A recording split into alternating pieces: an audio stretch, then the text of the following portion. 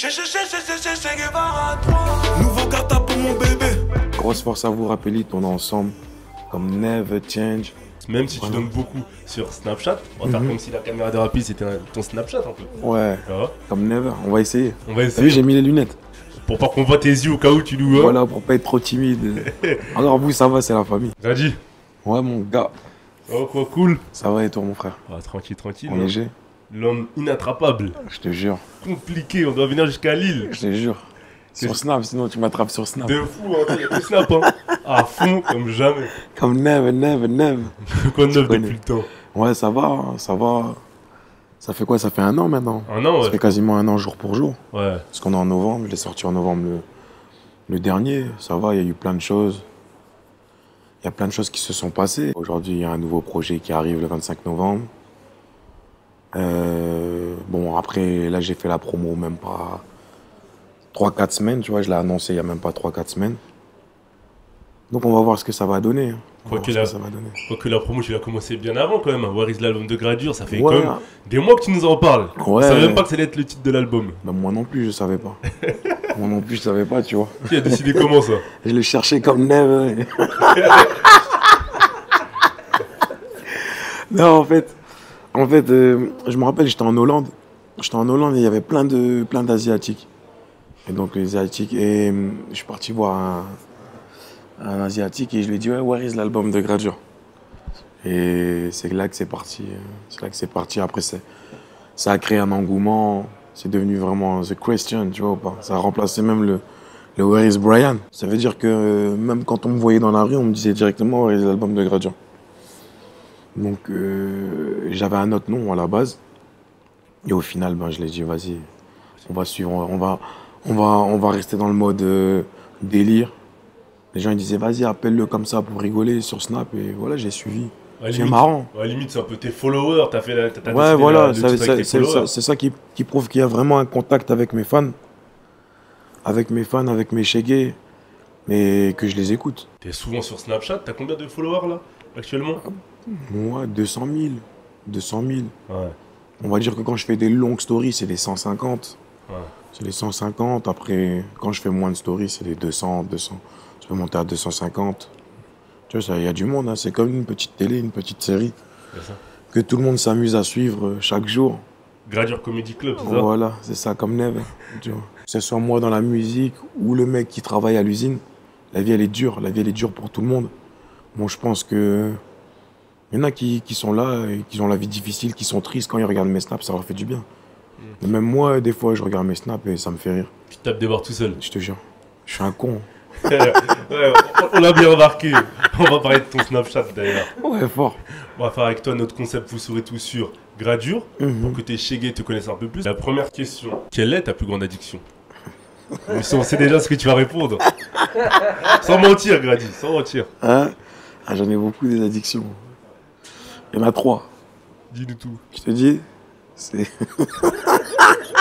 tu me mets dans la merde là C'est le sexe, FIFA et Snapchat. C'est Ah ça, ouais. c'est les trois. en ce C'est moment. dans cet ordre-là 1, 2, 3. Ouais, après tu peux, tu peux, tu le mets dans au même stade. Ouais, c'est vrai que. c'est vrai, ça- ça- ça- la- Il est mort de rire. Pas toi? Ah, Il veut nous mettre de la merde. Nous on pose des questions seulement. Frère, Madame 5. C'est Madame 5. Ah. Voilà. Beaucoup que tu joues à FIFA Mhm. avec ton équipe. Bizarrement, tu perds jamais. Non Que t'essayes de nous mentir ou. Non. Quoi? Je te cache pas, sur FIFA 16, vraiment, je m'étais vraiment débranlé aux gens. Sur FIFA 17, bon, j'ai eu un peu moins de temps vu qu'il y avait l'album, etc. Je, veux- je devais finir. Sur FIFA 17, et non, je me suis pris des branlés aussi. hein. Ouais. Tu vois, en Côte d'Ivoire, à FIFA, à FIFA 2016, euh, j'avais battu MHD. Et là, à- au 17, là, il met un peu la, il met un peu la pression, l'enculé. Ah. Tu vois? Perdu deux fois contre MHD, à deux, deux endroits différents. Donc je mets quand je perds aussi. Même parfois, tu joues avec des inconnus, des gens quand tu rencontres dans la rue. Tu vas Ouais, chez eux. Tu te rappelles de. Tu regardes mes snaps Ouais. tu, regardes, tu te rappelles de. Il y a un mec comme ça qui est venu me voir, euh, j'étais à Lille. Il vient pour prendre une photo, tout ça. Et après, il revient 20 minutes plus tard, il dit Ouais, euh, j'habite là. euh, euh, viens, moi je suis là, je suis chaud et tout, tout, je veux jouer à FIFA, je suis prêt à parier de l'argent. Je vois le mec, il est trop déterminé, tu vois. Je me dis, wesh, le mec, il- je pense qu'il va me faire mal hein, à FIFA. Après, c'est pas une question d'argent, mais le mec, qui vient comme ça, qui dit, je veux t'affronter. Et j'attendais un pote à moi, il mettait du temps à venir. J'ai dit, vas-y, j'y vais. J'ai été chez lui et. Bon, je l'ai battu, hein, je te cache pas. Ah ouais. Au début, t'avais je- un peu de mal, on aurait dit. Hein. Non, il, juste, il m'a mis un, après j'en ai mis trois direct. Il m'a mis 1-0, après. et à la fin, j'ai gagné. J'ai gagné, on a fait trois parties, j'ai gagné les trois parties, on a joué même à UFC. Je l'ai battu. Et voilà, c'est comme ça aussi que des fois les amitiés, elles se créent. Ah, Et maintenant, je suis en contact avec lui sur Snap. Là, il est à Dubaï. Il me dit qu'il va, il va acheter le- l'album le, 25 novembre. Et, voilà. Les gens qui regardent tes snaps peuvent se dire Gladir, ça peut être mon pote euh, de tous les jours avec qui Ah je oui, joue à FIFA, normal. Il y a la musique, il y a, mes, y a ce, que je, ce que je fais ou ce que j'ai fait. Des fois, pas trop bien dans la vie. Mais à part ça, je suis un être humain comme tout le monde. Hmm. C'est juste que même tous les autres rappeurs, c'est des, des êtres humains, ils aiment bien rigoler. Tu vois, il y a des mecs comme, euh, comme MHD, ils sont là, ils aiment bien rigoler. Même des mecs comme Booba, il, il fait que rigoler. Tu parles avec lui au téléphone, tu fais que rigoler. Tu comprends? Après, moi, c'est juste que je le montre un peu plus. Je montre un peu plus ma personnalité sur Snap. Je me découvre un peu plus. Après, je montre euh, ce que j'ai envie de montrer. Mais je pense que ça reflète aussi ma personnalité. Je suis un mec qui aime bien chambrer, qui aime bien, qui aime bien rester avec ses potes. J'aime pas trop les boîtes. Par contre, il faut que je fasse les shows. Je préfère même passer des soirées avec mes potes. On est là, on parle, on rigole, on joue à la PlayStation. Pour moi, c'est ça la vraie vie. Après, avoir sa femme, et si Dieu le veut, avoir des enfants. Et On va parler de ça d'ailleurs. Hmm. Quel est ton plus gros défaut? Gros défaut? Mais en fait, la qualité, c'est un défaut aussi. Ah. Tu vois? Je vais t'expliquer. Quand t'es trop bon, après t'es trop con. Hmm. Tu vois ou pas? C'est vrai ce que je veux dire? Après, le Mais gros, vrai, plus défaut, parce que là, c'est le gros défaut, c'est les retards. Ah ouais, ah. on va pas en parler à la caméra. Frère, toi-même, t'es en retard. Non, jamais. Tu m'as, vous m'avez dit, vous venez à 17h, il est 19h45. Gros, depuis ça fait combien de temps qu'on doit se voir? Ah? Ça fait combien de temps qu'on doit se voir? Non, là, on s'est, là, on s'est Ça fait parlé. combien de temps qu'on doit se On voir? s'est parlé directement, regarde, on s'est parlé. On s'est parlé, on s'est parlé. Parce que tu vois, on- donc, t'as dit, c'est le moment vérité. Donc, on dit la vérité aussi. On, On s'est parlé, j'ai dit, ok, nanana, viens à Lille à 17h. Ok. Gros, les- mais c'est pas grave. Parce que moi aussi, je suis un mec, je suis toujours en retard. Ah mais ouais. mon plus gros défaut, c'est les retards aussi. Hmm. Les, re- les retards et aussi de, des fois, pardonner. Pardonner euh, trop facilement. Et je pense que c'est pas bon. Je pense que c'est pas bon. C'est comme je te disais, tu vois, être bon, c'est aussi être con. Donc il faut être bon, mais après, il faut être bon avec les bonnes personnes. Et voilà. Mais sinon, c'est les retards. Je ne Ouais, cache pas, je suis toujours en retard. Et tu fais beaucoup de showcases. On le voit encore sur ton Voilà, là, un peu moins. Cette année, c'était un peu moins parce que j'ai eu des, des petits problèmes extra-musicaux. Et, et tout s'est englobé, en fait. Que ce soit la musique, etc., tout ce qui s'est passé, des déboires, etc., qui ont fait que pendant un moment, je voulais mettre même la musique de, en stand-by. Tu regardes, j'ai sorti un projet chez Guevara 2 avec plus de 30 sons. Il n'y a même pas plus de 5 clips. Ce qui veut dire que la promo, je l'ai vite arrêté. J'ai- même vite arrêté les shows. J'ai juste repris euh, cet été. Parce qu'il y avait des contrats qui étaient déjà signés, sinon j'aurais même pas fait. J'étais vraiment dans une optique où, Ça se ressentait pas forcément pourtant. Dans ta communication, on le dans ma pas communication, forcément. Est-ce que tu étais un peu dans bah, le... tu, me- tu- tu me voyais rigoler, tu me voyais euh, au quartier, mais tu me voyais pas parler de musique. Quand tu regardes bien, tu me voyais pas vrai. sortir des sons. Après, tu masques bien avec les snaps, etc., parce que je suis toujours présent. Et ces soucis-là se sont réglés, donc c'est pour ça que tu es revenu. Hmm, ça s'est pas réglé, mais c'est juste que on est venu, on m'a parlé, on m'a dit gros, euh, t'es là, euh, le vent euh, quand il tourne, il tourne. T'as une famille à nourrir, t'as des gens, il y a des gens qui comptent sur toi, et des gens qui sont là, qui t'écoutent depuis longtemps. C'est pas parce que t'as des petits problèmes que tu dois tout laisser tomber. Et voilà, après je me suis speedé, j'ai fait un projet le plus rapidement possible. Les choses qui t'arrivent dans la vie, c'est pas, c'est pas, c'est pas forcément facile. Mais après, les gens, ils en ont rien à foutre de ce qui m'arrive dans la vie, tu vois ce que je veux dire ou pas? Ils veulent que je sorte de la musique. Mais des fois, quand t'es pas dedans, t'es pas dedans. C'est comme des fois un joueur de foot quand il a des problèmes. Euh, ça va pas se ressentir par exemple en interview, mais ça va se ressentir sur le terrain. Et voilà. Mais Aujourd'hui, je suis là et il y a le projet qui arrive le 25 novembre et les gens ils m'ont demandé du rap, j'ai fait du rap. On verra si ça va plaire ou pas. C'est ton, ton pire souvenir de showcase. Pire souvenir de showcase. C'est qu'au tout début, je fais un showcase en Suisse, il n'y avait même pas 100 personnes. Il n'y avait pas 100 personnes. Ouais. Ça veut dire qu'en vrai, tu vois là, c'est pas grave, on est là. Mais des fois, ça fait un peu mal. Ça fait un peu mal, mais ça va, j'étais avec tous mes potes, c'était le début. Ouais. Ils connaissaient tes textes au moins les 100 personnes ou même pas? Ouais, ils connaissaient, ils connaissaient. connaissais Ils connaissaient. Mais voilà, c'est ça le pire. hein. Sinon, sinon c'est ça. hein. Il n'y a pas vraiment de, pire souvenir. Il s'est jamais vraiment passé quelque chose de grave dans un showcase. Non. Le pire, c'était le Maroc quand il y a eu. euh, C'était pas mon showcase à moi. J'ai été. Après, il y avait une bagarre, une grosse bagarre générale au 5-5-5. Sinon, c'était battu, etc. Mais, mais c'était pas mon showcase. Voilà, c'est le pire vraiment souvenir que j'ai eu. Après, on est parti en garde à vue. On a dû payer. C'est ça le pire. Gradué en garde à vue Oh Artiste qui vend des, des milliers de disques en garde à vue. Ouais, après, il y a des. il y a des- C'est pas, c'est pas, c'est pas, c'est pas non plus grave. Je sais pas combien un meurtre, tu vois. Les Marocains ont dû bien te gratter, je pense. Ouais, ils m'ont gratté comme... Ils m'ont gratté comme jamais. Ils ont même gratté mon cou, frère. Ils ont gratté mon cou, frère. pour, aller, pour gratter mon cou, faut y aller, frère. Tu vois? J'avais pas le choix. Après, il y a aussi un bon souvenir que j'ai, c'est quand, il y a quelques, quelques semaines, là, avec Niska et Sadek, c'était lourd. C'était à La Réunion, c'était un concert comme ça, mais c'était vraiment lourd. Puis- Tous les charros, ils sont venus sur la scène, ils se sont enjaillés. Nous-mêmes, on est venus, on s'est enjaillés, on a fini torse nu, on a fini dans Ouais, la foule. Tu te rappelles, t'as vu les snaps, là Ouais. C'était lourd, c'était lourd. Et voilà, c'est, c'était vraiment lourd. En plus, Niska, c'est vraiment la famille, je l'aime beaucoup. J'aime beaucoup aussi tous ses potes, soit Tioba, Madran, je fais une grosse euh, dédicace à Madran. Free Madran comme never. Mais je les aime beaucoup, donc euh, c'était un plaisir de partager ce moment avec eux. Et si tu devais changer une chose de ton passé? Quand tu regardes ton rétro, tu te dis Ah, là, peut-être pas dans la musique, hein, même dans ta vie perso. J'aurais dû changer. J'aurais dû peut-être faire moins de sport. Même sans coup Voilà, tu vois ou pas? J'ai trop de trapèzes, c'est-à-dire j'ai plus trop de coups. Voilà, c'est Même sur ta cover, il n'y a pas de coup. C'est quoi cette Je cover l'ai fait d'ailleurs? exprès, je l'ai fait exprès. Maintenant, on va parler des gens qui sont autour de toi, de ta mère. Il y a d'ailleurs un morceau que tu dédies sur cet album. Et dis-nous la réaction qu'elle a eue quand elle a vu la première fois, pour la première fois, le clip Rosa à la télé. Le son ça. Elle était fière. hein. Elle était fière. Des fois, elle regarde un peu mes sons. Elle écoute tous les sons? Elle écoute pas tout, mais je pense des fois, elle est curieuse. Donc elle regarde. Mais après, elle sait que c'est de la musique et voilà. Et quand elle a écouté Rosa, elle était contente. Elle était contente, ça passait à la radio, ça passait partout.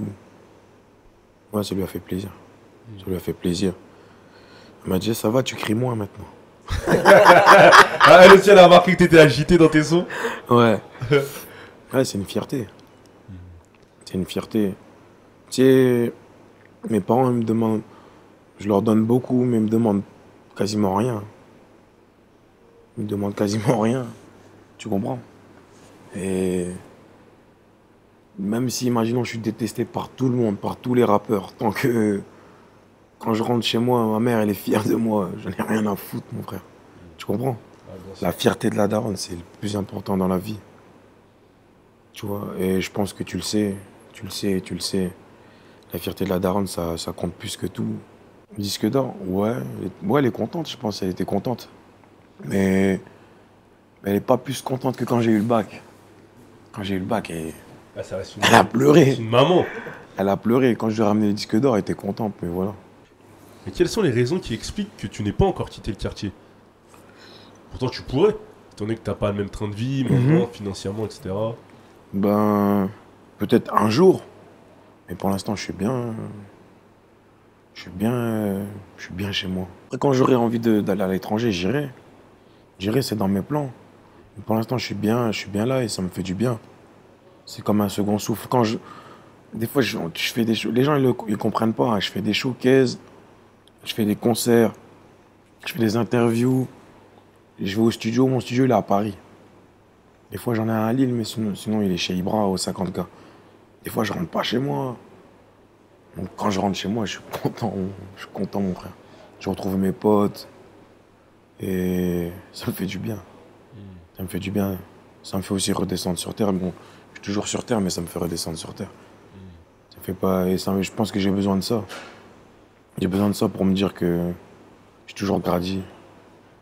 Tu peux me voir sur Snap. euh, chez Ribéry, au Bayern. Et le lendemain, je suis au quartier comme si de rien n'était, mon frère. La notoriété Oh. grandissante, ça te pèse pas un peu ou? Bah maintenant, je m'y fais. tu sors le snap et. Je m'y fais, il y, a des- il y, a des- il y a- il y a des heures. tu vois? De 12h à, à 17h, ça passe. Après, arrivé à 19h, ça commence à être difficile. Non, mais même si, même si euh, des fois même ça me fait chier, je suis obligé de le faire. Parce que c'est- ces gens-là qui, qui font, qui m'ont fait. Il y a des gens qui m'ont donné de la force dans la musique. Qui m'ont donné des coups de pouce. Moi aussi, j'ai donné des coups de pouce. Mais après, c'est les fans qui décident. Tu comprends? J'ai donné combien de force à des gens? Et les gens, ils n'ont pas pété. Donc tu peux donner là ce fort, mais après, c'est les gens. Et c'est ces gens-là qui font qu'aujourd'hui, je suis devant, toi, devant ta caméra. Donc je peux être que, je peux être que reconnaissant, redevable. Franchement, ça me fait plaisir à chaque fois que les gens viennent me voir. Comme hier, j'étais, j'étais au concert des MHD. Je suis passé, quand il a mis mon son et que je vois les gens qui sont là, ils sautent, ils sont contents. Et juste après, je vais au stade Bollard pour voir le match de l'équipe de France. Je suis en VIP. Et je vois euh, euh, bah, bon nombre de personnes qui me demandent des photos. Du le Des truc. gens même qui sont pas peut-être pas de mon milieu euh, social. Qui sont là, qui me demandent des photos. Ils sont avec leurs parents. Leurs parents, ils sont là, ils chantent trop ça. Ça fait quand même plaisir quand tu rentres chez toi. Tu regardes ta story. Sur le coup, tu le vois pas. Mais des fois, tu vas regarder ta story. Tu vois, tu dis, c'est beau quand même. C'est beau. Donc non, je, je remercie beaucoup euh, mes fans. Parce que c'est grâce à eux aujourd'hui que je suis là. Et c'est eux qui vont décider si ça continue si ça, si continue pas. Donc j'espère même qu'ils vont continuer à me soutenir. Parce que s'ils me soutiennent, que le projet marche, ça va me donner la force aussi de continuer. Et je leur, je leur serai encore plus reconnaissant. Sur l'album, il y a un morceau qui s'appelle Encore. Mhm. Tu parles d'amour. Mhm. On apprend que Grady est amoureux. Quand même. Non, commence pas à fuir. Ah Les gens, quand ils vont écouter, ils vont, ils vont comprendre. ouais. Grady est amoureux en ce moment? Ouais, il est calme, il est calme. On voit une calme. mademoiselle sur le snap Il est parfois. amoureux de sa mère, comme Ah. jamais. Elle est bien l'esquive. Hein. il tente d'esquiver. Bi- Bientôt la bague au doigt. Grady, dis- dis-nous Ah, tout. je, sais- je sais pas. Je sais pas, mais le but aussi, euh, le rap, ça dure qu'un temps. Donc le but, c'est aussi de créer une famille, fonder une famille. Je te dis, même quand je vais chez Ribéry, moi, ce qui me, rend- qui me fait le plus plaisir, c'est de voir ces enfants. Ils sont là, ils sont bien élevés. C'est magnifique, au-delà de la réussite. Tu comprends? Si t'as même t'as des, des millions, mais que t'es seul, t'as pas d'enfants, t'es triste, hein, mon frère. C'est triste, hein. il y en a, ils sont là, ils touchent 1005, 2000, ils rentrent, ils, ils voient leur, leur enfant et ils sont peut-être plus, plus heureux que moi je le suis dans la musique. Tu comprends Mm. Donc c'est important. Sachant que t'as bientôt 26 ans, je crois. Ouais. Le 28. Tu m'offres quoi comme cadeau d'anniversaire d'ailleurs? Bon, moi j'ai pas d'argent, j'ai pas d'argent. Mais gros, c'est quoi le rapport avec J'ai l'argent pas d'argent, tu vois. C'est quoi le rapport avec l'argent? C'est pas tu grave, tu peux m'offrir ton cœur, je sais pas. Oh, il commence déjà. Non, je sais Ah pas. putain, c'était mon anniversaire hier, tu m'as rien offert, Grady. Si tu me dis c'est ton anniversaire, je t'offre quelque chose. Je vais t'offrir mon album. Je l'ai déjà l'album. Mais je vais te l'offrir une deuxième fois. On la passe ou pas? Ah, les artistes d'aujourd'hui. Moi, je vais t'offrir un bob. Ah ouais, je pas le bob. Le bob, je l'ai Tu pas. l'as pas? Il est là, je te le ramène. Il est beau, Grady. À la fin de l'interview. Il est beau, il est beau, il est beau, il est beau. Il a réussi à esquiver. Euh, Vraiment. Hmm. Et la chose la plus folle que t'aies reçue sur Snap? Non, mais en fait, euh, mon snap, il est. euh, Comment dire? Mon snap, il est bloqué en fait. Il n'y a que les gens que j'ajoute qui peuvent me parler. Ah ouais, sinon c'est quoi? Les autres, ils en peuvent juste re- regarder. Parce que ça faisait bloquer. J'ai 200 000, euh, 250 000, 200 000 euh, personnes sur Snap. À un moment, tout le monde m'envoyait des messages, tout le monde m'envoyait des messages. J'avais jamais de batterie et il y avait que des notifications, que des messages. Je pouvais pas. Je pouvais pas, donc j'ai enlevé. Mais la, la- la chose la plus folle, c'est quand on m'a demandé de signer euh, un autographe sur un tarpé. Sur le... Tu vois ce que je veux dire? Elle est venue, elle est venue un string, elle m'a dit ouais, signe mon autographe. La main tremblait ou bien? Hein? Ta main est tremblée ou Je bien? me rappelle plus. Hein. Je, me rappelle plus. Je l'ai signé comme Neve Etienne, tu connais. C'est pour ça dans Terrassé, je disais ça. Signe Ouais. des autographes sur des putains de. Tu vois ou pas? C'est ça. Je. Voilà, c'est la plus folle. La, chose la plus folle que. C'est tout. Nous parlait de Ribéry il y a deux minutes. Mhm. Comment tu pourrais décrire votre relation, votre amitié? Pour moi, c'est un ami. hein. C'est un ami aujourd'hui, c'est comme, mon- comme un frère. Il me, demande, il me donne des conseils. euh, il me donne des conseils sur la vie. Surtout, quand il vient, on est là, on fait des sorties. À chaque fois, en plus, il me disait de venir au Bayern. J'avais pas le temps parce qu'il y avait la promo, etc. Dès que j'ai pu, là, je suis passé. Et c'est une relation. euh, Dit fusionnelle Ça se dit fusionnelle. C'est pas que pour les meufs fusionnelle. Attention, hein. attention que les commentaires là. On reste même pas. Non, c'est un frère. Les gens vraiment avec qui je suis proche maintenant dans le foot, c'est Serge Aurier et Ribéry. Et Junior Talo aussi. C'est vraiment les trois avec qui je suis, je suis comme ça. C'est-à-dire, il va me raconter tout, moi je lui raconte tout. S'il a besoin de moi, je suis là. Si, tu comprends? Mhm. Et si tu devais définir ton meilleur souvenir avec MHD Meilleur souvenir avec MHD Il y en a beaucoup, hein, quand même. Il y en a beaucoup. Après, on va revenir sur ça. Déjà, hier, c'était lourd. hein. Ah, hier, c'était vraiment lourd. C'était chez moi. C'était vraiment lourd. Mais il y en a plein. Regarde, il y a- il y, a eu ça. Il y a eu le, le concert en Côte d'Ivoire. Quand on était là, on jouait à la PlayStation. Et il y a eu quoi encore? Le jour où on il y avait le showcase de Shai. Et le showcase de Shai, il est venu. euh, on était chez Junior Talo, on jouait à la PlayStation. Je lui dis, bah vas-y, viens. C'est là qu'il m'a fait du mal à la PlayStation. M'a fait du mal, mais tu sais, de, de juste de vivre des moments comme ça où on partage des choses, euh, même hors rap, c'est ça qui fait plaisir. Moi, je lui disais, même MHD, aujourd'hui, c'est c'est quelqu'un que j'aime beaucoup. Je pensais pas qu'il allait monter aussi vite. Tu vois? Je pensais pas qu'il allait monter aussi vite et franchement, je suis surpris. Moi, je me disais peut-être, ouais, son album, c'est un peu trop tôt. Même des fois, je me rappelle, j'en parlais avec Bouba et je disais, non, c'est un peu trop tôt. Il me disait, non, non, c'est bon. Et au final, euh, quand il a commencé, dès qu'il vraiment il a sorti Roger Mila, j'ai vraiment senti. Et ça fait plaisir parce que c'est un mec euh, qui a un parcours assez atypique, un peu comme le mien. Et ça fait plaisir de voir maintenant où il est. Regarde, il fait des, il fait des concerts euh, à Stockholm, il fait des concerts en Allemagne, il fait des concerts en, à New York. Et c'est beau de voir en fait l'ascension parce que même moi, quand j'ai commencé, je croyais pas en moi. Et lui, c'est la même chose. Quand je le voyais, je me disais, je pense pas ça va aller vraiment. Je pensais pas que ça allait aller aussi vite. Et je lui ai dit, hein, je lui ai dit, moi, je suis quelqu'un de franc, donc je lui ai dit. Et ça me fait vraiment plaisir de voir aujourd'hui ce qu'il fait, qu'il remplit des salles. Je regarde ses snaps et c'est beau. Franchement, c'est beau. Et c'est quelqu'un. Je respecte beaucoup aussi l'humain. L'humain, c'est une bonne personne et on a, on a les mêmes centres d'intérêt. On aime bien le foot, on aime bien FIFA, on aime bien l'enjaillement. Et voilà, aujourd'hui, euh, moi, je suis fier de ce qu'il fait. Franchement, je suis fier de lui. Parce qu'au début, euh, c'est comme ma mère. Ma mère me disait au début, je pensais pas que ça allait marcher, moi. Et quand elle voit aujourd'hui ce que- ce qu'elle fait, elle peut, elle peut qu'être fière. Tu vois et c'est la même chose. Donc franchement, je lui fais un gros big up et qui continue dans ce sens-là et qui continue de nous épater. Voilà.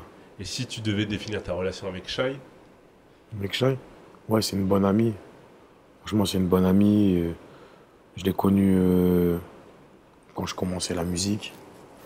Elle m'a donné beaucoup de conseils. Elle m'a donné beaucoup de conseils, elle m'a aidé sur beaucoup de choses. Et, je l'ai vue, euh, elle était là, elle galérait et voir, elle galérait et tout et tout. J'étais là, moi j'étais là quand même, tu vois. J'étais là aussi pour elle.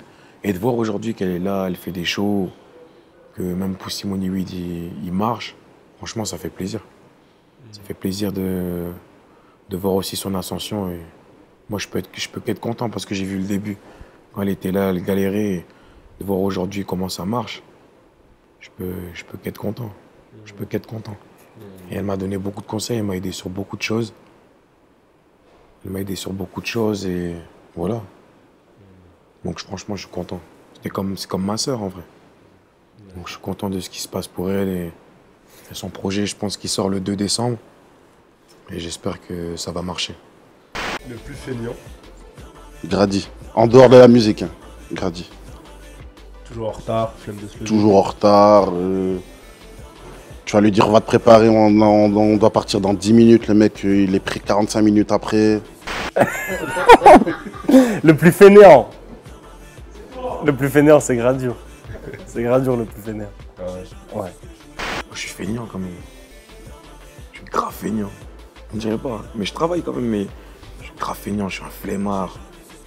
Je suis un flemmard. Tu vas me dire, ouais, l'interview rapide. Tu vas dire, oh, vas-y, après. Après, vous, vous êtes, là, vous êtes quand même la famille, ça veut dire que vous, je dis, je dis pas non.